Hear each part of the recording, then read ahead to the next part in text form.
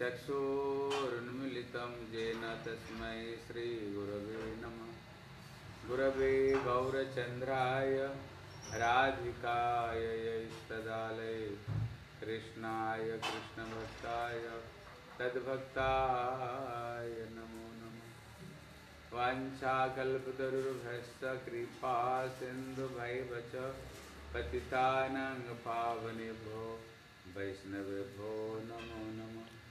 नमः वदन्याय कृष्णप्रेमप्रदायते। कृष्णाय कृष्णचैतन्य। नाम्ने गौरतिसे नमः।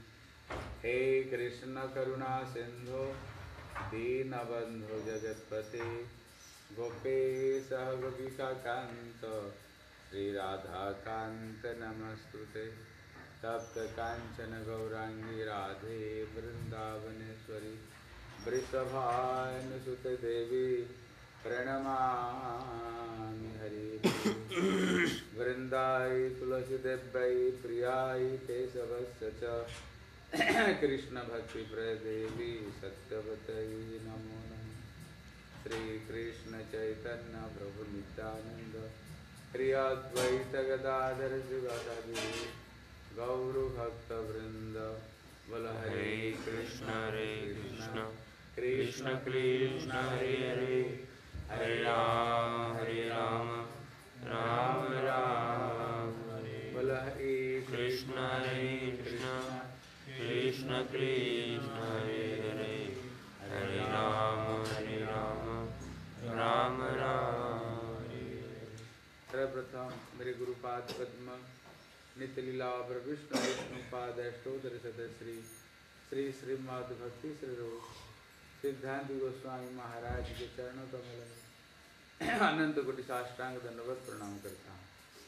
तत्पश्चात मेरे शिक्षा गुरुपाद पद्म नित्य लीला पर विष्णु पाद अष्टोदर सदस्य श्री श्री श्रीमद भक्ति वेदांत श्रील, नारायण गोस्वामी महाराज के चरणों सरोज में श्रद्धा, पुष्पांजलि अर्पण करता हूँ। उपस्थित समस्त वैष्णव वैष्णवियों को यथाचित प्रणाम। हरे कृष्ण। आज हम लोग श्रवण करेंगे श्रीला भक्ति सिद्धांत, सरस्वती गोस्वामी प्रभुपाद का उपदेशामृत है। कहते, भक्त लोगों ने उनको अलग अलग समय पर उन्होंने अलग अलग प्रश्न किया और उनने उसको उत्तर दिया है। किसी ने उनको प्रश्न किया है? उनका प्रश्न है, कद असंतुष्ट भाव की करिया जाए। समझे?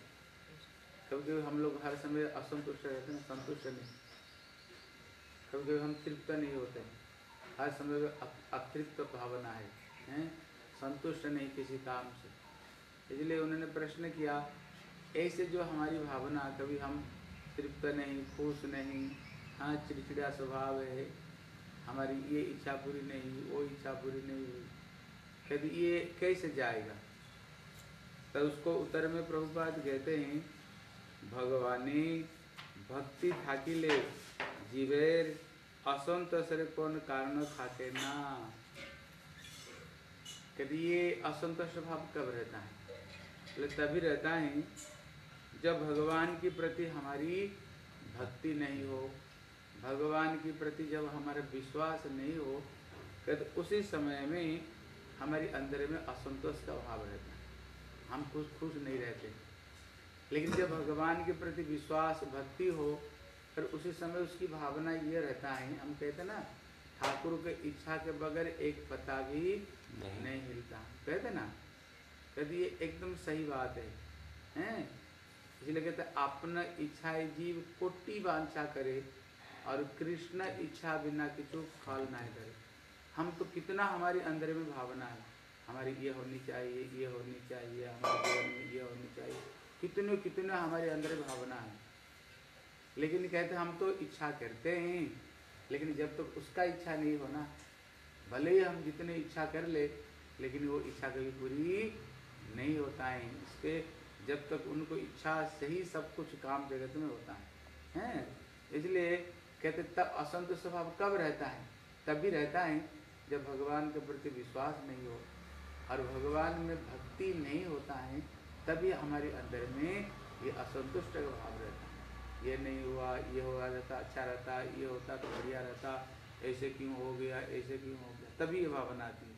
इसलिए खोल दो क्या हुआ? समीर। बंद करे हो? धूल आ रही है, है। बंद कर खोलो। अच्छा। खोल दो पूरा। इसलिए ये सब इसलिए कहते असंतोष का भाव है यही पृथ्वीते আমরা সেবা বিমুখ হইয়াই कर्म फलाधीन हई कहते संसार में हम आए क्यों और ये कर्म का फल में अधीन क्यों क्योंकि हमने पूर्व पूर्व जन्म में जो जो कर्म किया है कहते वो कर्म के अनुरूप ही जो कुछ जीवन में फल भोग कर रहा है जीवन में जो कुछ आ रहा है, क्यों आ रहा है? क्योंकि हमने पूर्व जन्म में हमने जैसे जैसे कर्म किया है, हैं?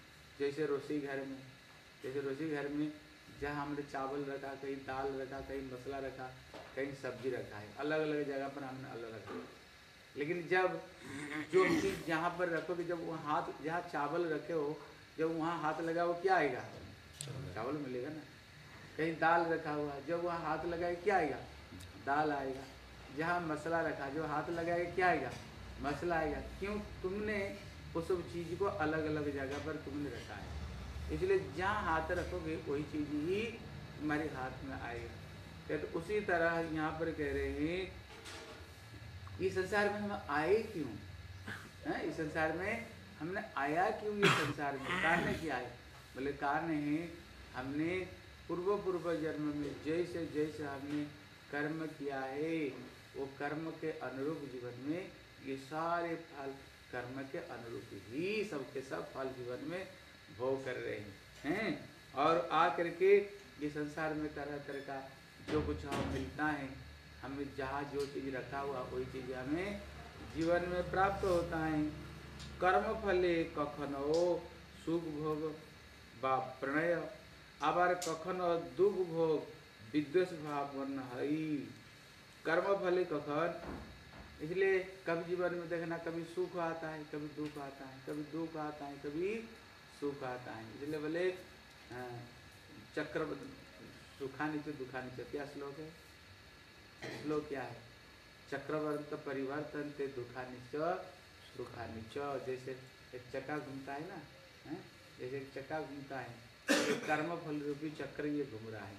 कभी जीवन में सुख भोग करते हैं, कभी जीवन में दुख भोग जीवन में होता है। इसलिए, लेकिन फिर हम, हमारे हृदय में असंतुष्ट भाव कब रहता है? विद्वेष भाव कब रहता है? बोले तभी रहता है जब जीवन में ज़्यादा करके दुख आता है ना, तब दूसरों के ऊपर हमारी विद्वेष भाव। उसने हमारे लिए ऐसे किया, उसने मेरे लिए ऐसे किया, उसने मेरे लिए ऐसे किया, तभी हमारे हृदय में विद्वेष और असंतुष्ट भाव रहता है। संतोष भाव नहीं रहता है। क्यों? हमारे जीवन में ऐसा हुआ। हम तो ये चाह रहे थे। हमारे जीवन में ये नहीं हो करे, ऐसे क्यों हुआ? तभी जीवन में असंतोष भाव रहता है। कहते हैं, लेकिन यहाँ पर क्या कहते हैं? अभी पूर्व पूर्व जन्म में हमने जो जो कर्म किया, वो तो कर्म का फल ही आ रहा है ना? है, वो तो कर्म का फल ही जीवन में आ रहा है। इसलिए भगवत सेवार प्रयोजन बोध उदित হইলে जावतीय क्लेश बा सुखेषणा আমাদের কিছুই करिया उठते পারবে ना। इसलिए आप कहते हैं, भगवत सेवार प्रयोजन बोध उदित हले जब हमारे हृदय में हम्म, ये भगवत सेवा की जब वासना हमारे हृदय में जगेगा, हम कैसे भगवान को सुखी करें, गुरु वैष्णव को हम कैसे सुखी करें जब ये चेष्टा हमारे हृदय में उदित होगा तो जितने तरह का जो क्लेश है, जो दुख कष्ट है, कहते हमारे किछु उठते पारबे ना। कहते क्या? ये सब चीज़ दुख कष्ट जीवन में नहीं आ सकता कब? जब हमारे हृदय में हर समय हम भगवान को कैसे संतुष्ट करें, गुरु वैष्णव को कैसे संतुष्ट करें, ठाकुर को कैसे सेवा करें, जब हृदय में ये भावना हमारी आएगा, फिर ये दुख कष्ट है ना। फिर ये दुख कष्ट हमारे कुछ सता नहीं सकता। अगर कहीं भगवत भजन करते हुए दुख कष्ट आता है ना कहते ना तुम्हारे सिवाय दुख दुख है जत सेवत परम सुख। सेवा सुख दुख परम संपद नाशय अभितक इसलिए अगर हम सचमुच से भगवत सेवा में हम प्रति है भगवत सेवा के लिए कोशिश कर रहे हैं अगर उसमें कोई दुख भी आएगा ना कहते दुख भी सुख का कारण है। वो दुख भी सुख का कारण है। कहते सेवा में जो सुख, दुख है कहते ये परम संपत्ति का कारण है। संसार हम तो बहुत दुख कष्ट भोग करते हैं हैं? संसार के लिए कितना दुख कष्ट उठाते हैं। लेकिन वो दुख का कोई महत्व नहीं कोई महत्व नहीं वो तो माया के संसार में, हैं? माया की डंडा पड़ रहा है, उसका कोई, लेकिन भगवत सेवा के लिए अगर कोई दुख उठाना पड़ता है, भगवत सेवा के लिए, जैसे हमारे व्यक्ति प्रज्ञान केशव गोस्वामी महाराज उन्होंने ज़िंदगी भर उन्होंने केस मामला लड़ा। केस लड़ा। क्यों? लड़ा क्यों? वो गुरु वैष्णव के सेवा के लिए। कहती, ये सबके सब कृष्ण का संपत्ति है। हैं? लेकिन उसको जो विषय वो क्या करना चाहते उसको भोग करना चाहते बोले, नहीं, ये सबके सब भगवान का सृष्टि किया हुआ वस्तु, ये भगवत सेवा की वस्तु, दूसरे व्यक्ति क्यों उसको लेने क्यों देंगे? उसको हम क्यों, हम क्या? इसलिए उन्होंने भगवत संपत्ति को रक्षा करने के लिए उन्होंने केस लड़े। और जो व्यक्ति टैक्स नहीं दे रहे थे। एक कोड़े से उनको पिटाई किया। उनको कोड़े से उन्होंने पिटाई किया। इसलिए अगर हम भगवत सेवा के लिए कोई अगर जीवन में बाधा विपत्ति आती है, कोई जीवन में भगवत सेवा के लिए अगर बाधा विपत्ति आती है, अगर उसके लिए हम कोई लड़ रहे हैं कहते अगर उसमें कोई दुख है उसमें कहते वो दुख नहीं कहते वो सुख का ही कारण है। क्योंकि हम जो लड़ रहे हैं ठाकुर जी की सेवा के लिए, ठाकुर जी की सेवा के लिए हम लड़ रहे हैं। इसलिए कहते हैं मत निमितम कृतम। पाप अपि धर्माय कल्पते। अगर भगवान की सेवा के लिए अगर कोई थोड़ी पाप कर्म भी करना पड़ जाए अगर अगर कर भी दिया ना कहते उसमें तुम्हारी हैं कहते वो, वो पाप नहीं होगा बल्कि वो पुण्य होगा। जैसे हनुमान ने लंका जलाया कि नहीं? साधु का थोड़ी ये स्वभाव है। किस चीज़ को जलाना साधु का थोड़ी स्वभाव है। लंका पूरा जला आग रा, राख कर दिया। बोले क्यों? राम की सेवा के लिए। अर्जुन ने युद्ध किया कि नहीं? भीम ने युद्ध किया कि नहीं? नकुल सहदेव ने युद्ध किया कि नहीं? युद्ध किया ना? ये साधु का थोड़ी लक्षण है। कितने लोगों को मार दिया? अकेला भीम ही दुर्योधन का सौ भाइयों को अकेला ही मार दिया। अकेला ही मार दिया। है? और अर्जुन ने कितने लोगों को मार दिया अर्जुन ने? लेकिन उनको पाप होनी चाहिए ना? पाप लगनी चाहिए इनको। लेकिन पाप नहीं हुआ। क्यों? भगवान की इच्छा से, भगवान का आदेश को उन्होंने, ठाकुर जी का आदेश को उन्होंने पालन किया है। इसलिए यहाँ पर कह रहे हैं हाँ इसलिए भगवत सेवा और प्रयोग क्लेश ताहले कहे तुम्हारी क्षति करते बार बनना हाँ। उठ हाँ। इसलिए तुम सर्वदा भगवत सेवाई मन दीवे। इसलिए क्या कह रहे हैं? हर समय क्या करना, हमें कोशिश क्या करनी चाहिए? भगवान की संतुष्ट कैसे हो? ठाकुर का प्रीति विधान कैसे हो उसी के लिए हर समय हमें चेष्टा। प्रचेष्टा करनी चाहिए। एक एक प्रभुपाद जी कथा सुनाते ना? कहते एक समय जो दक्षिण में दक्षिण देश में कोई भगवान का मंदिर था भगवान नारायण का मंदिर। एकदम टूट फूट गया था जीर्ण शीर्ण हो गया था। संत थे बोले देखो कहाँ लक्ष्मीपति जिसने लक्ष्मी का पति है उसने सारे विश्व ब्रह्मांड को सृष्टि करने वाले और ये लक्ष्मीपति का मंदिर टूट फूट गया, हैं? इसलिए उन्होंने सोचा, ये मंदिर को मैं संस्कार कर दूँ। तो उन्होंने बहुत बड़े राजा के पास में गया, भैया, थोड़ा पैसा दो, ये ठाकुर जी का मंदिर टूट फूट गया, इसको हम संस्कार करें राजा बोले, मैंने पैसा कमाया, भगवान की सेवा के लिए? ना अपना भोग के लिए? हम भगवान की सेवा नहीं लेता हूँ वो संत ने कहा, कहाँ लक्ष्मीपति? लक्ष्मीपति है ना? तुम्हारे पास में जो पैसा के मालिक और ठाकुर है ना किसने पैसा दिया है? किसकी कृपा से? हम कहते ना लक्ष्मी की कृपा हो। लक्ष्मी की कृपा हो। लेकिन लक्ष्मी किसकी? लक्ष्मी तो नारायण की है ना? वो लक्ष्मी अगर नारायण की सेवा में लगेगा तभी तो लक्ष्मी सार्थकता है। और ये कह रहे हम भगवान के मंदिर के लिए थोड़ी पैसा कमाए। वो अपना संसार भोग के लिए कमाए। हम भगवान की सेवा फेवा नहीं देते। वो संतों को तो बड़ा दुख लगा। लक्ष्मीपति दुनिया का जो मालिक जिसने सब कुछ दिया उसका मंदिर टूटा फूटा पड़ा हुआ और और, और तुम लोग विषय भोग कर रहे हो और पैसा मांगने के लिए जाए तो दिए ही नहीं। उसने चार चेला बनाया और उन्हें चार चेलों को चार विद्या सिखाया। एक चेले को ऐसे मंत्र सिखाया तो जितने बड़े ताला क्यों नहीं हो वो मंत्र पढ़ के फूँ दे देना वो ताला खुल जाएगा एक चेले को सिखाया पानी के ऊपर में तू चलते चल भी जा सक- जा सकते एक चेले को मंत्र सिखाया इसकी परछाई में खड़ा हो जाएगा तो व्यक्ति भाग नहीं सकता। और एक चेले को उन्होंने मंत्र सिखाया अगर वो किसको साथ में तर्क बात। वितर्क करे ना उसको छोड़ कर कभी जा ही नहीं सकता। ऐसे उसको बात में फंसा देता है। तो चार चेले बनाए और चार चेले को भेज दिया बोले जाओ कि राजा राजा के पास में जाओ। पहला चले को तो बोले उसको था ऐसे तर्क वितर्क करना जैसे उसमें उलझ जाए भाग नहीं सके। दूसरे चेले को सिखाए तुम जाकर के उसका जहाँ पर सोना चांदी रखा हुआ जैसे जो खजाना। खाजन उसको दिया जो ट्रेजरी ट्रेजरी उसको जाकर के ताला में मंत्र मार कर ऐसे फूकना से ताला खुल जाए। और तीसरे को बोला तुम सारे धन दौलत लेकर के पानी। पानी के ऊपर भाग जाना।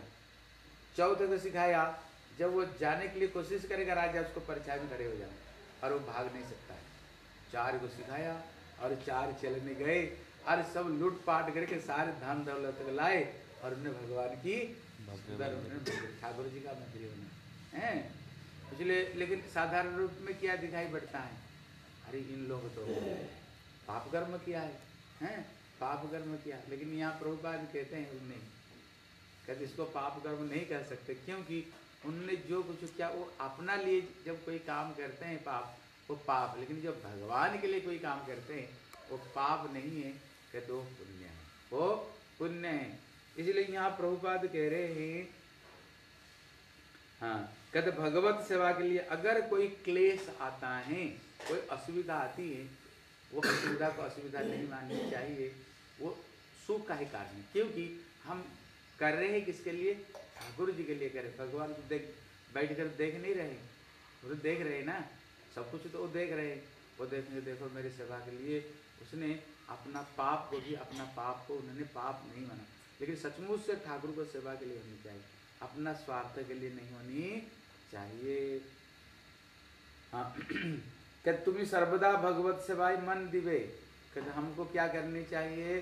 कहते, हर समय हमारी मन हम कैसे ठाकुर को सुखी करे? भगवान को कैसे सुख करे? इसी के लिए हमारी मन हर समय देनी चाहिए। ताइले कही तुम्हारे कौन क्षति करते पारिवे ना। अगर हर समय अगर भगवत सेवा के लिए अगर कोशिश करे तो हमारी कोई कुछ नहीं बिगाड़ सकता। हनुमान जी का कोई कुछ बिगाड़ा राम सेवा ही जिसका जीवन है। हनुमान को बोला, विश्राम करो। बोला, राम सेवा ही हनुमान का विश्राम है। इसलिए जो सचमुच से भगवत सेवा के लिए हर समय चेष्टा करते हैं, भगवान स्वयं कहते हैं, मेरे सुदर्शन चक्र उसको रक्षा करते है। भगवान कहते मेरे सुदर्शन चक्र उसको रक्षा। करता है जैसे श्री दुर्वासा हैं जैसे श्री अम्बरीश महाराज भजन करते थे भक्ति करते थे उनको दुर्वासा ने कोशिश किया मारने के लिए सुदर्शन चक्र प्रकट हो गया। सुदर्शन प्रकट होकर के जो राक्षस मारने के लिए आए थे उसको तो मार ही डाला और जिसने भेजा था उसको भी पीछा किया। उसको भी नहीं छोड़ा। इसलिए कहते अगर सचमुच से हम भगवत शरणागत है हमारी जगत में कोई कुछ हमारी कोई बिगाड़ नहीं नहीं सकता है। लेकिन शरणागत भक्त होनी चाहिए। तो भगवान उसको हर समय ठाकुर ही रक्षा कर दे ठाकुर जी। चंचल हैया बा कहारो प्रति? असंतुष्ट भाव प्रदर्शन करिया यदि तुम्हें। पृथ्वी ते थाको ताहिले भगवत सेवार कथा तुम्हारे मन में पड़े ना। देखो तो प्रभुपाद क्या कहते हैं? अगर हम चंचल हो करके किसको प्रति अगर असंतुष्ट भाव प्रदर्शन करते हैं हाँ असंतुष्ट होकर के हम किसको प्रदर्शन भाव प्रकट करते हैं, उसमें क्या होगा? फिर तुम भगवान को भूल जाओगे ठाकुर जी को तुम भूल जाओगे। फिर भगवत स्मरण नहीं आएगा। अगर हम किसको ऊपर नाराज़ हो, अरे हमको व्यक्ति ऐसे किया हमको ने ऐसे किया, उसकी ये कर दिया हमको ने ये किया, फिर तुम किसको भूल गए? तुम भगवान को भूल गए। ठाकुर जी को तुम भूल गए। भगवत स्मरण तुम्हारी नहीं आएगा अगर जीवन में जो कुछ आता है, अगर ये समझे, हमने जैसे बीज बोया, वैसे ही वहाँ फल आता है। हैं? इसलिए तत्वनुकंपा सुषमित समान भुंजाम एवात्म कृतम विपाकम। इसलिए भक्त लोग क्या सोचते हैं, जीवन में जो कुछ आता है, अपना किया हुआ कर्म का फल ही आता है। जैसे बीज बोएँगे, नीम का बीज बोएगा तो नीम का ही वृक्ष आएगा। है? अंगूर का बीज बोएँगे, अंगूर का ही वृक्ष आएगा, आम का गुठली बोएँगे, कौन सा वृक्ष आएगा? आम का ही वृक्ष आएगा। इसलिए हमने जैसे जैसे कर्म किया, कर्म के अनुरूप जीवन में हम फल भोगना पड़ेगी। भक्त लोग ये चीज़ को सोच करके क्या करते हैं? अपना जो कर्म का जो फल आता है, उसको भोगते रहते हैं। हम उसको भोग कर लेते हैं हैं? कभी कभी हम हम कहते हैं ना, अगर जीवन में दुख आए तो हमारे पाप खत्म हो रहा है।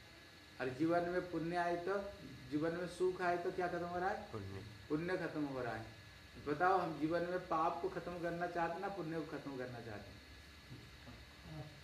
सारा दुनिया कहता ना हमारे पाप खत्म हो जाए। दुनिया बोला हमारे पाप। पाप खत्म को होगा?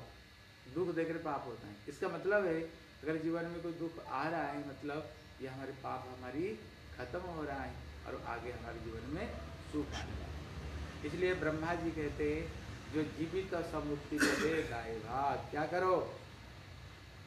भजन करते जीवन में जो कुछ आता है उसको अपना कर्म का फल मान कर भोग करते जाओ लेकिन भगवान की भक्ति को मत छोड़ो। भगवान की भजन को मत छोड़ो। हैं? भगवान की भक्ति को नहीं छोड़नी चाहिए। कंटिन्यू भगवान की भजन करनी चाहिए।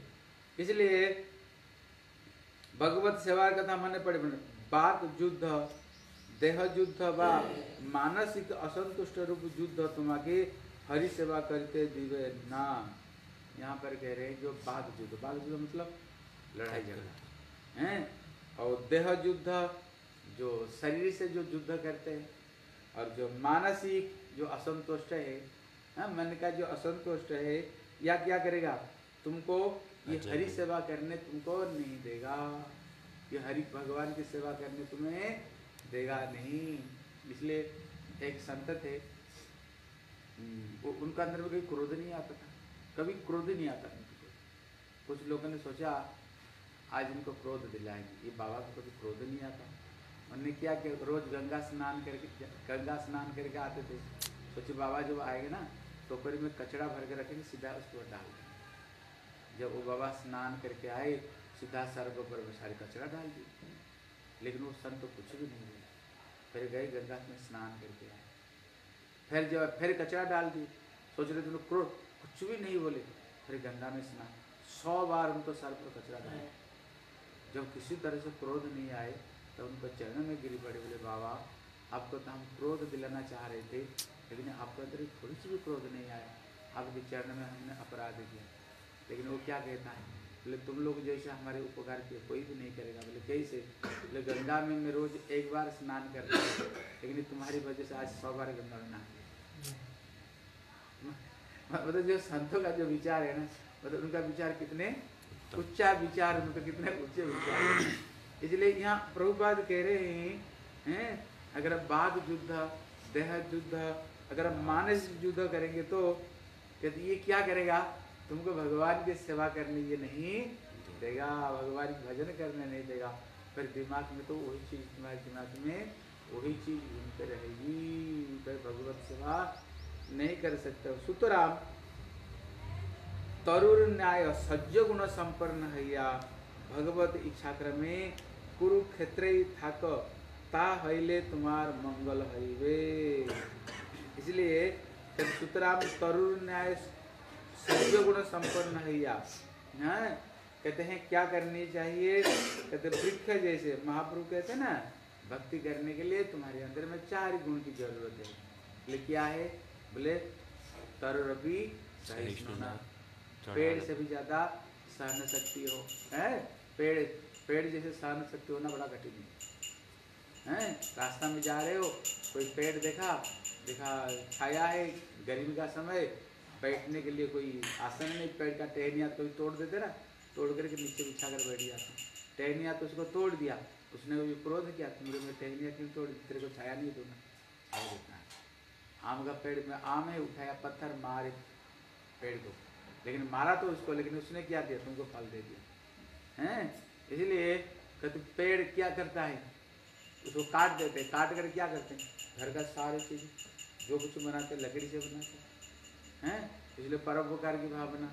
इसलिए कहते हैं, वृक्ष जैसे सहनशील और तररपी सहिष्णुना तररपी सहिष्णुना और त्रिनादपि शून्य चयन घास से भी ज़्यादा दीन होकर के सबको जथा जुग सम्मान दो और खुद सम्मान की लालसा मत रखो। हैं? कहते अगर चार गुणे गुणी है या कर कीर्तन। तो चार गुण में गुणी हो जाओगे ना, फिर तो तुम्हारे कीर्तन में कोई बाधा नहीं कर सकते। अगर ये चार गुण आ जाएगा तुम्हारे अंदर में, हैं? इसलिए यहाँ पर कह रहे हैं,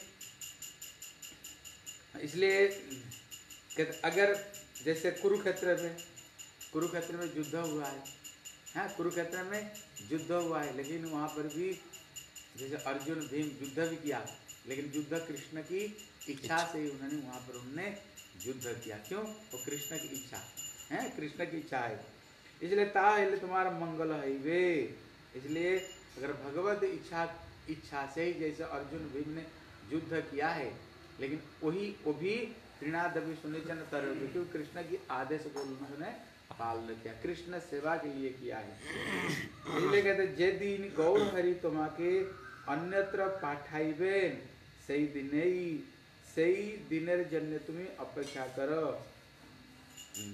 যেদিন गौर हरि তোমাকে অন্যত্র পাঠাইবে সেই দিনে তুমি অপেক্ষা करो इसलिए यहाँ पर प्रभुपाद किसको शायद पत्र लिख रहे हैं बा उनको उपदेश दे रहे हैं हैं शायद कह रहे हैं गौर हरि तुम्हारे अन्यत्र पाठाई सही दिन ही तुम्हें अभ्यास करो जिस दिन महाप्रभु तुमको अगर कहीं महाप्रभु भेज रहे हैं अगर तुम्हारी इच्छा है कहीं जाने का अगर महाप्रभु अगर तुमको वहाँ भेजेंगे वो दिन को तुम अपना जीवन में अपेक्षा अपेक्षा करो?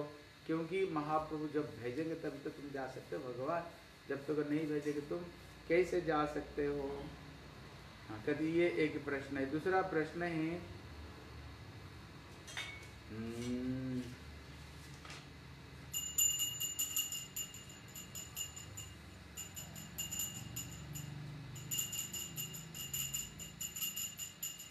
कहते गृह व्रत गृह व्रत व्यक्ति संग की गहणिया इसका प्रश्न है कहते जो गृह व्रत व्यक्ति संग की निंदनीय क्या है? हैं? किसने प्रश्न किया है? तो प्रभुपाद उसको उत्तर देते हैं गृह व्रत धर्म के प्रबल करिवार जादेर इच्छा हमारा कौन दिन इतादर संग प्रार्थना करी ना? यहाँ पर कह रहे हैं समझ गए हो नहीं समझे? क्वेश्चन था गरीब भक्त गृह कहते जो गृह व्रत जो व्यक्ति है उनका संग क्या निंदनीय है? जो समझो। कहते गृह व्रत मतलब होता है जो लोग भगवान की भजन भजन से जिनका कोई मतलब नहीं। जिनकी भक्ति से कोई मतलब नहीं जिन्होंने अपना घर को ही जीवन समझ लिया। गृह को ही अपना व्रत मान लिया। गृह को व्रत मान लिया हम व्रत रखते हैं ना। मतलब जो व्यक्ति, जिसका व्रत, हम कहते ना, हमने व्रत रखा है। क्या व्रत रखा? दृढ़, व्रत मतलब दृढ़। आज हमने व्रत रखा, आज कुछ भोजन नहीं करेंगे। हम व्रत रखते हैं ना। इसलिए जिन्होंने गृहों को ही अपना जीवन का व्रत बना लिया। मतलब है, हमारा घर ही सब कुछ है। मेरा बीवी ही सब कुछ है। बेटा ही, बेटी ये सब कुछ है। और ये दुकान, मकान ये सब कुछ है। यही हमारा जीवन है। इससे बाहर कुछ है ही। भगवान की भजन भजन, इसका मतलब है, भगवान की भक्ति में जिनका कोई मतलब नहीं, जिनका केवल पैसा कमाओ और ये स्त्री, पुत्र, परिवार को दिन भर खिलाओ, पिलाओ और इनको पीछे दिन भर लग रहा इसके सिवाय भगवान की भजन भजन और जीवन में कुछ है ही नहीं। इसको कहते गृह की जिनने अपना व्रत मान लिया। तब तो कोई कह रहे हैं जो ऐसे जो व्यक्ति है जिनको भजन से कोई मतलब नहीं भक्ति भक्ति जीवन में कुछ करते नहीं। क्या ऐसे व्यक्ति का संग किया करना ठीक क्या ठीक है नहीं? तब इसका उत्तर में प्रभुपाद देते हैं जिनकी प्रबल केवल यही, संसार ही सब कुछ इसके सिवाय और संसार में कुछ है ही नहीं। कहते, हमारा कुखर ऐसे संग हमें नहीं करनी चाहिए। ऐसे संगठना में दूर रहनी चाहिए। जे सकल व्यक्ति हरि भजन अनुरागी ओ कृष्ण गृह धर्म अवस्थित। ताहादरे सेवा करिवार जन्य हमारे बांछा प्रबल हुआ आवश्यक।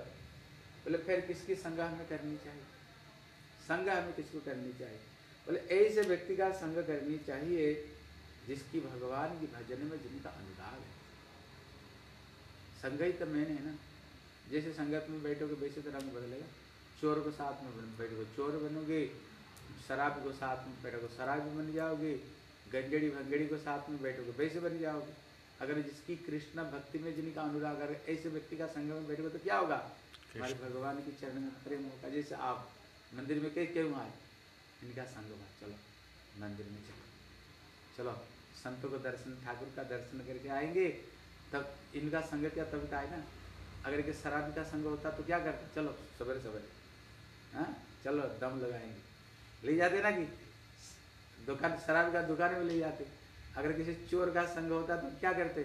चलो किसका पकड़ मार करेंगे नहीं तो किसी को धावा करके चोरी करे। इसलिए यहाँ पर कह रहे कैसे व्यक्ति का संग करनी चाहिए? बोले ऐसे व्यक्ति का संग करो जिनकी भगवान के चरण में जिनका अनुराग है जिनकी ठाकुर के चरण में जिनका प्रीति ऐसे व्यक्ति का संग करो। जीवन में संग ही में संग ही जीवन का इसलिए हर शास्त्र कहता है साधु संग साधु संग, सर्वशास्त्र कय लव मात्र साधु संगे सर्व सिद्धि है। हर शास्त्र एक ही बात कहता है, संतों की संग करो, भक्तों की संग करो, संत संग। इसलिए यहाँ कह रहे हैं भरिभजन अनुरागी कृष्ण गृह धर्म में अवस्थित तादर सेवा करा हमारे बांछा प्रबल हुआ अवस्थित। इसलिए जो व्यक्ति कृष्ण गृह धर्म में अवस्थित है, जो व्यक्ति कृष्ण गृह धर्म मतलब होता है जो अपना संसार में रहते हैं लेकिन जो भगवान की भजन करते गृह में रहते हुए कहते जदिन गृह भजन देखी गृह ते गोलोक भाई जिस दिन हमारे घर में भगवान की कीर्तन हो कथा हो घर में भगवान की भजन हो घर क्या भगवान की धाम। ऐसे जो गृहस्थ व्यक्ति है जो ऐसे जो गृहस्थ व्यक्ति जो हर समय प्रभु का भजन भक्ति करते हाँ, ऐसे व्यक्ति का संग करो, इनकी सेवा करनी चाहिए, इनकी भक्ति करनी चाहिए, तब हमारी प्रबल जो इच्छा, इनकी सेवा के लिए हमारी इच्छा हो। लेकिन जो भगवान के भजन को एक तरफ़ रख करके केवल कमाओ, खाओ, अपना लिए सब कुछ करो, भगवान भगवान कुछ है, बोले ऐसे व्यक्ति का संग हमें नहीं करनी चाहिए। ऐसे व्यक्ति का संग से हमें दूर रहनी चाहिए। दुस्संग परिहार करिया साधुर आश्रय ग्रहण कर्तव्य। इसलिए हर शास्त्र कहता है अतः दुस्संग मुत्सृज्य सत्सु बुद्धिमान। सज्जेत बुद्धिमान। इसलिए जो बुद्धिमान होते हैं वो क्या करते हैं? कहते असत को परित्याग करके कहते ये सत्संग में ही निवास करते हैं। साधुओं का संग में ही निवास करते हैं। इसलिए जहार असाधु के साधु बलिया भ्रम करे तहारा असुविधाएँ पड़े मध्य ही पड़िवे अगर जो असाधु है अगर हम उसको साधु मान लेते हैं भ्रम करके अगर उसको हम साधु मान लेते हैं फिर क्या होगा? भैया हर समय असुविधा में पड़ोगे हर समय जंजाल में पड़ोगे। इसलिए क्या करो? भगवान की भक्तों का संग करो। इसलिए हर शास्त्र में एक ही बात बताया क्या मम उत्तम श्लोके। इसलिए भगवान से प्रार्थना करते बोले प्रभु हमारी जो सख्य किसको साथ में हो? कहते हमारी मित्रता किसको साथ में हो? बोले मम उत्तम श्लोके जने सख्य अगर मित्रता हो ना, भक्तों के साथ में मित्रता हो, संतों के साथ में मित्रता हो। अगर संतों के साथ में मित्रता होगा तो फिर तो संत हमें भगवान की चलो, जगन्नाथपुरी घूम कर आएँगे हैं? चलो, नवद्वीप धाम घूम कर आएँगे चलो, वृंदावन जाएँगे। बांके बिहारी को दर्शन करेंगे। वहाँ पर राधा वल्लभ जी को दर्शन करेंगे। गोविंद देव को दर्शन करके चलो लेकिन उल्टा पुल्टा संग करेंगे तो ले जो धाम में जाकर क्या होगा? चलो हम और कहीं विदेश घूम करके आएँगे हैं? और कहीं कहाँ पर घूमने के लिए जाते हैं? कहाँ कहाँ जाते हैं? भारत में अलग अलग जगह पर। स्विट्जरलैंड। स्विट्जरलैंड घूम करके आएँगे चलो हैं? अमेरिका घूम करके आएँगे लेकिन भक्तों का संग करेंगे तो अरे ये सब जगह जाकर क्या होगा? बेकार है चलो जाएँगे कहाँ जाएँगे? चलो भगवान के धाम में जाएँगे। मैं एक बार रसिया गया था। रसिया गया था तो वो उस समय बर्फ़ का बहुत वहाँ पर तो माइनस ट्वेंटी थर्टी था। जब उधर से मैं आ रहा था ना कभी कभी एक कभी कभी ऑफ़र करते ना जो ऑफ़िस में काम करते हैं कभी कभी कल तुम कहाँ घूमना चाहते हो? बोले, तुमको विदेश घुमा कर ले आएँगे। बोले रसिया वो लोग रसिया अगर चालीस, पचास लोग गए थे रसिया घूमने के लिए। जब मैं रसिया प्रचार करने के लिए गया था, जब मैं वापस आ रहा था मैंने कहा, तुम लोग, इतने लोग रशिया क्या करने के लिए आए? कल यहाँ घूमने के लिए, हमका जो ऑफ़िस से बोले घूमने के लिए, कहाँ जाना चाहते तो चल रसिया घुमा कर। बोले, तुमको रसिया कैसे लगा? मतलब बेकार है। हैं? नाम सुना कर रसिया कुछ कुछ बर्फ़ ही बर्फ़ कुछ है ही नहीं। हैं? कुछ नहीं, चार तरफ़ बर्फ़ पड़ा हुआ क्या देखना? बर्फ़ बर्फ़ ही देखने के लिए आए। ये सब बकवास है। तो उसने बताया, अगर भारत में हम तो अगर कोई धाम में जाते बद्रीनाथ केदारनाथ जाओ। गए हो बद्रीनाथ केदारनाथ? गए बद्रीनाथ केदारनाथ? क्या कितना सुंदर सिनारी है। कितने सुंदर हाँ? कितना सुंदर अलका अलकानंदा बह रहे हैं। सुंदर सुंदर झरना भी बह रहे हैं। कितना सुंदर मनोरम स्थान है हाँ? बद्रीनाथ केदारनाथ। इसलिए कहते हैं, अगर हम भक्तों का अगर संग करेंगे तो हमें क्या ले जाएँगे? हमें वो सत्संग में ले जाएँगे। लेकिन अगर हम असत्य व्यक्तियों का संग करेंगे तो हमें कहाँ ले जाएँगे? असत संग में ले जाएँगे। इसलिए सत्संग स्वर्गवास असत्संग सर्वनाश। सत्संग करेंगे तो क्या वास होगा? भगवान धाम में वास होगा और जीवन में असत्संग करेंगे तो सीधा हमें नरक वास मिलेगा। इसलिए यहाँ पर कहते क्या करनी चाहिए? हैं? भक्ति भक्तों का संग करनी चाहिए। किसने प्रश्न किया? मठ प्रतिष्ठा उद्देश्य की। जो मंदिर बनता है, भगवान का जो मंदिर बनता है, कहते ये मंदिर बनाने का उद्देश्य क्या है? क्यों ये मठ मंदिर को बनाते हैं? उसको बनाने का उद्देश्य क्या है? तो प्रभुपाद कहते हैं, साधारण लोकेर अनुग्रहेर किछु मठ प्रतिष्ठित है नहीं। शुद्ध भक्त शुद्ध भक्त गणेर भजन नतिर्जन्य मठ प्रतिष्ठित। कहती जो मंदिर जो बनता है, किस लिए मंदिर बनता है? हैं? है ना इसलिए ये मठ प्रतिष्ठ, बनने का केवल एक उद्देश्य है हमारी जो भक्ति जगत में हमारे उन्नत कैसे हम भक्ति जगत में उन्नत कैसे कर सकते कहते ये साधारण लोगों को सुख सुविधा के लिए ये मठ मंदिर नहीं है। ये मठ मंदिर केवल हम भक्ति जगत में धीरे धीरे धीरे धीरे कैसे हम बढ़ सके, इसलिए मंदिर जैसे देखो मंदिर है। जैसे कभी कभी हम लोग सोते सोते रात को अगर कहीं प्रचार करने के लिए जाते हैं ना, जब हम गुरु जी को साथ में जाते थे, प्रचार करने के लिए जब जाते थे घर घर में कीर्तन करते थे कभी कभी कभी कभी सोते सोते ग्यारह, बारह, एक बज जाते बज जाते थे। लेकिन जितना बजे सोए क्यों नहीं? लेकिन सवेरे मंगलारती में उठना पड़ेगा, मंगलारती उठना पड़ेगा, सबके सब मंगलवार कितना बजे? चार बजे सबको उठना पड़ेगा, नहा धो करके, हैं? आरती में आना पड़ेगा। भले कितने बजे क्यों नहीं सोए, लेकिन कितना बजे उठना पड़ेगा? चार बजे तुमको उठना पड़ेगा, नहा धो करके ठाकुर जी की आरती में आना पड़ेगा। फिर ठाकुर जी का आरती में आए। सवेरे उठ करके आरती।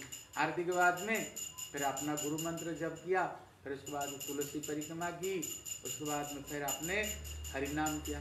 हरिनाम के बाद में फिर बैठ करके हम कीर्तन किया, हैं? महाजन पदावली शरणागति कीर्तन किया। कीर्तन के बाद में फिर बैठ कर हरिकथा हो रही। है तो फिर हम उठे कितने बजे? चार बजे के करके उठे। अब कितना हो रहा है? आठ बजे। चार से लेकर के चार घंटा तक केवल भगवत स्मरण, भगवत चिंतन छड़ा कुछ नहीं। है? और कुछ है ही नहीं। इसको बाद में फिर ठाकुर जी के लिए रसोई बनाना पड़ेगा। फिर किसकी किसी को ठाकुर को कोई सेवा होगा इसलिए जो इसलिए जो मठ है कहते मठ का मतलब क्या? बोले, पठंती, बसंती जत्र छात्रा। जहाँ पर पारमार्थिक छात्र जहाँ पर रह करके आध्यात्मिक जो आलोचना करते हैं। हमारी भक्ति का भावना कैसे धीरे धीरे बढ़े, हैं? मठ मतलब होता है जहाँ पर केवल भक्ति, भगवान की भजन कैसे हमारे जीवन में बढ़े, इसलिए ही ये मठ मंदिर बना है। इसलिए कहते, श्री कृष्ण संकीर्तन द्वारा ही गौरांग सेवा है। कहते जो मंदिर है महाप्रभु का भगवान की सेवा के लिए, कहते उनका सेवा कैसे होगा? भले उनका कीर्तन करें। जैसे सवेरे से ही कीर्तन ही हो रहे और कुछ हो ही नहीं रहे। सवेरे उठे, सवेरे उठ करके हमने मंगला आरती किया, ये भी कीर्तन किया। उसके बाद में हरि नाम किया, ये भी कीर्तन किया। उसके बाद में बैठ कर फिर कीर्तन किया। फिर अभी जो कथा करे वो भी भगवान का कीर्तन है। हैं? कहते, ये कीर्तन के द्वारा क्या होगा? कहते भगवान की सेवा हो रहा है ठाकुर का सेवा हो रहा है हैं? जैसे हम अगर बोले आपका नाम क्या है? मेरा नाम पप्पू। हाँ? पप्पू नाम है हाँ। इसलिए अगर हम बोलेंगे जब आप जैसे पप्पू बोलेंगे ये बहुत अच्छे व्यक्ति है इनका स्वभाव बहुत अच्छा है इनके सबको दूसरों के ऊपर दया करते हैं सबके ऊपर कृपा करते हैं स्वभाव से बहुत अच्छे खुश होगा कि नहीं होगा? खुश हो जाएगा ना? इसलिए जब भगवान की यहाँ पर किसका गुणा गुणानुवाद हो रहा है? ठाकुर की गुणानुवाद हो रहा है उनकी महिमा हम लोग गा रहे हैं इसलिए जब उनकी महिमा गाएँगे, वो खुश होएँगे कि नहीं? क्या देखो, मेरे बच्चे अच्छे हैं हैं? जिन पिता ने तुमने जन्म दिया, खिलाया, पढ़ाया, लिखा, पढ़ा, वो बच्चा अगर पिता का सेवा करता है, पिता खुश होते हैं ना? उसी तरह जब हम भगवान की गुणगान गाएँगे, उनकी सेवा करेंगे, वो तो परम पिता वही है तो वो खुश होएँगे। इसलिए प्रभुपाद कहते मंदिर मतलब है जहाँ पर हर समय जहाँ पर हरि कीर्तन हो कभी ये कीर्तन का जो अग्नि कभी बंद नहीं होनी चाहिए। जब कीर्तन रूप अग्नि बंद हो जाएगा ना फिर तो दूसरे चर्चा होने लग जाएगी। फिर दूसरे चर्चा होने लग जाएगा। इसलिए संकीर्त गौरंग सेवा है यज्ञ ही संकीर्तन प्राय ही जजत ही सुमेध। सुमेधा इसलिए भागवत में नेमी नवजोगेंद्र संवाद आया। जब नेमी महाराज ने प्रश्न किया कलयुग में भगवान कौन है? और उनको कैसे भक्ति की जाएगी? बोले, कलयुग में भगवान कौन है? श्री सच्चिनंदन गौर हरि श्री चैतन्य महाप्रभु कलयुग में ये भगवान है। और उनका भक्ति कैसे की जाएगी? बोले, यज्ञ संकीर्तन प्राय कलयुग में संकीर्तन रूपी यज्ञ के द्वारा ही कलयुग में जो बुद्धिमान व्यक्ति होंगे, उनको संकीर्तन रूपी यज्ञ के द्वारा उनको आराधना करेंगे। बोलो हरे कृष्ण हरे कृष्ण कृष्ण कृष्ण हरे हरे हरे राम हरे राम राम बोलो हरे हरे कृष्ण हरे कृष्ण कृष्ण कृष्ण हरे हरे राम राम हरे राम राम राम राम हरे हरे बोले श्री कृष्ण रे गौर लीलार आदर्श श्री कृष्णेर गौर लीलार आदर्श जीवर एकमात्र मंगल रे पद। इसलिए कहते कलयुग में चैतन्य महाप्रभु कौन है? ये कृष्ण स्वयं।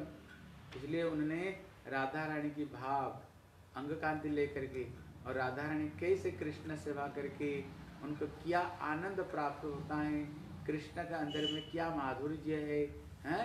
इसको आस्वादन करने के लिए राधा रानी का प्रेम की क्या महिमा। आस्वादन करने के लिए ही कृष्ण कलयुग में महाप्रभु का रूप में कलयुग में आए हैं। इसलिए भोगी ओ त्यागी मन, जोगाईवार जन्य मठ करा है नाई। यहाँ कह रहे जो मंदिर किस लिए बना है? हैं? मंदिर क्यों बना है? कहते किसी भोगी, नहीं तो किसी त्यागी, नहीं तो कोई जोगी का जन्य मठ करा है ना। ये मठ जोगी भोगियों के लिए, ये मठ नहीं। ये मठ जोगी भोगियों के लिए मठ नहीं।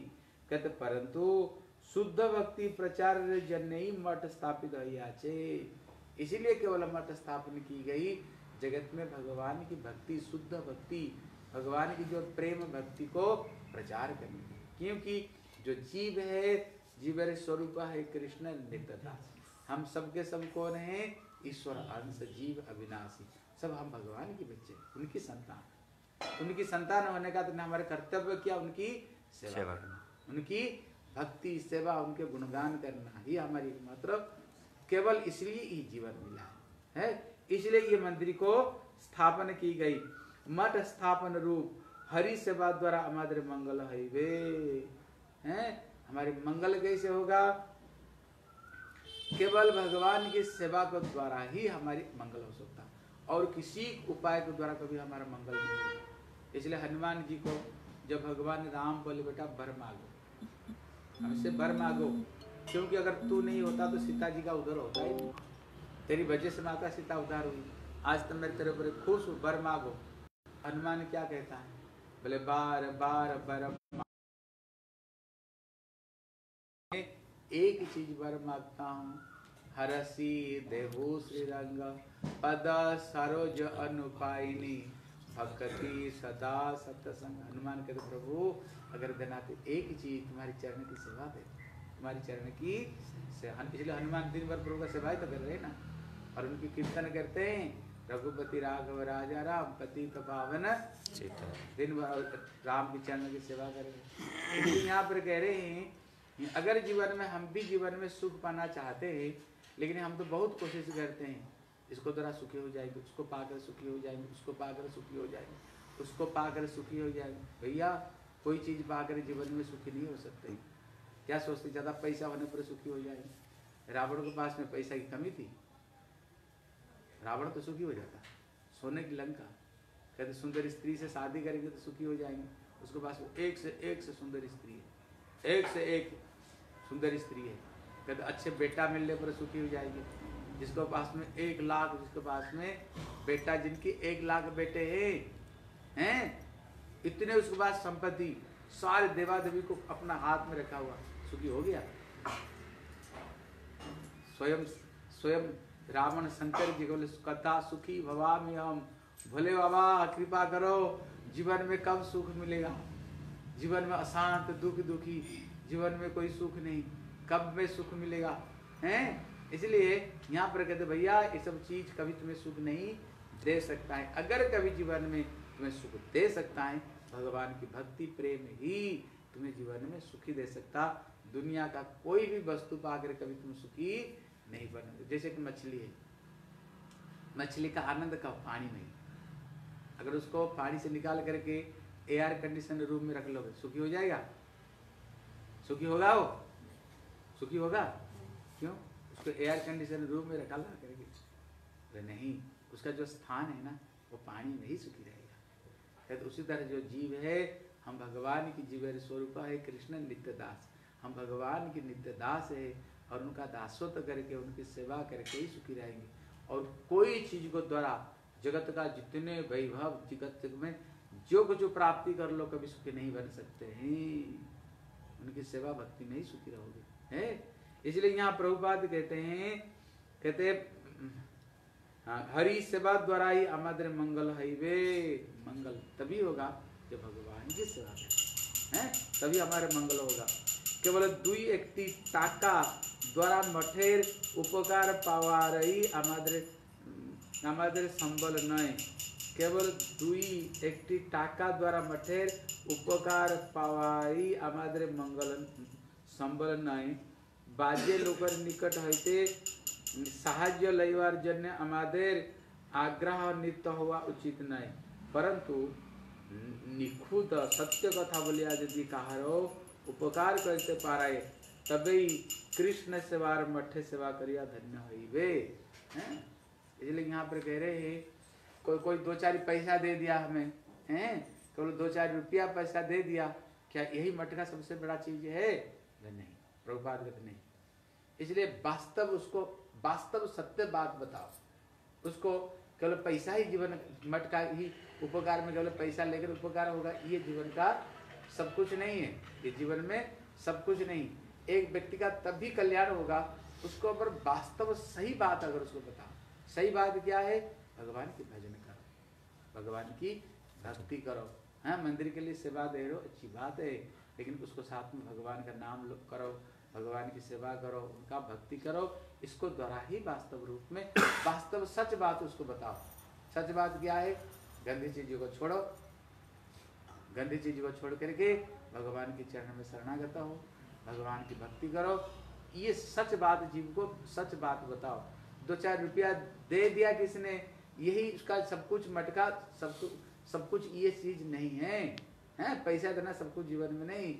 भक्ति करना ही जीव का परम कर्तव्य ये चीज उसको समझाओ লোক অনেক সময় আমাদের সহিত কপটতা খেলিবে কিন্তু এগুলিকে ভগবানের পরীক্ষা জানিবে জীবের সৌভাগ্য না থাকিলে দুষ্পারা মায়াকে অতিক্রম করা কঠিন মায়াবাদী ও ভোগী উভয় বধজি হরি প্রপন্ন জনগণই কৃষ্ণ ভক্তের কৃপায়ে হিতাহিত জ্ঞান বিশিষ্ট भोग प्राधान्य चालित हो या सत्य उपलब्धि करते विरत है जानियो। इसलिए यहाँ प्रभुपाद कह रहे हैं कभी कभी लोग हम हम लोग को साथ में कपटता करेंगे। कभी कभी लोग हमारे साथ में भक्तों के साथ में भी कभी कभी कपटता करेंगे लोग। लेकिन इसको क्या समझो कि भगवान का परीक्षा। गुरु जी की ये परीक्षा समझो कि जब तक जीव का सौभाग्य नहीं होता है ना है तब तक जीव इस भव संसार से पार नहीं हो सकता है। हैं? इसलिए करोड़ों करोड़ों जन्म का जब कोई भक्ति, उन्मुखी, सुकृति उदय हो, तभी जीवन में साधु संग होता है। और साधु संग प्राप्त करके ही जीव, भगवान की भजन करके ही माया संसार से तभी जीव पार हो सकता है। मायावादी वो भोगी उभय बद्ध जी जो मायावादी और जो भोगी, ये सब के बद्ध जी हरि प्रपन्न जन गण भक्त गण कृपा हिताहित ज्ञान विशिष्ट। हरि प्रपन्न जन गणई कहते जो व्यक्ति भगवान के चरण में शरणागत युक्त व्यक्ति है, हैं, कहते भगवान भक्तों का कृपा से ही वास्तव रूप में जो ज्ञान है, हैं, कहते हित, अहित ज्ञान विशिष्ट। कहते वास्तव रूप में क्या मंगल, अमंगल कब वास्तव रूप में पता चलता है? जब हम संतों का संग करें। संत संग के बगैर इसलिए बोले चक्षुदान दिला गई जन्म जन्मे प्रभु से। प्रभु से। हमारा असली आँख किसने दिया है? असली ज्ञान हमें कौन देते? साधु देते। हैं? साधु ही हमें असली ज्ञान देते हैं। बेटा भगवान की भक्ति ही जीवन में भगवान की भक्ति ही जीवन में यही जीवन का सच सब सब कुछ है। भक्ति के बगैर जगत सबके सब झूठा है जगत में। जगत माया। माया मतलब क्या है? जो जो चीज़ नहीं वो चीज़ को है करना यही माया है। जब तक तो संतों का ज्ञान कृपा नहीं हो इसलिए कहते हैं अज्ञान तिमिराम धस्य ज्ञानांजन सलाकया। चक्षुर उन्मिलितम जेन तस्मय श्री गुरुदेव कौन है? जो हमारी आँखों में हाँ ज्ञान रूपी अंजन काजल लगा करके हमको जो सही चीज़ दिखा दे जीवन में जो सही चीज़ का दिखा दे, हमें ये गुरुदेव है? इसलिए यहाँ पर कहते हैं, अनेक ही भोग प्राधान्य चालित हो या सत्य उपलब्धि है विरत जानी इसलिए कुछ कुछ जो व्यक्ति है, हैं, कभी ये भोग को द्वारा चालित हो करके हैं, जो वास्तव जो सत्य है, वास्तव सत्य को जान नहीं पाते, शीघ्र ही गया प्रबल भावे प्रचार करी वाली इच्छा अच्छे। कृष्ण इच्छा है ले वह निश्चय कार्य बनना चाहिए। शायद किसी ने प्रभुपाद को कोई पत्र लिखा था कि मैं गया जा करके अच्छा। वहाँ पर भगवान की प्रचार करना चाहता हूँ।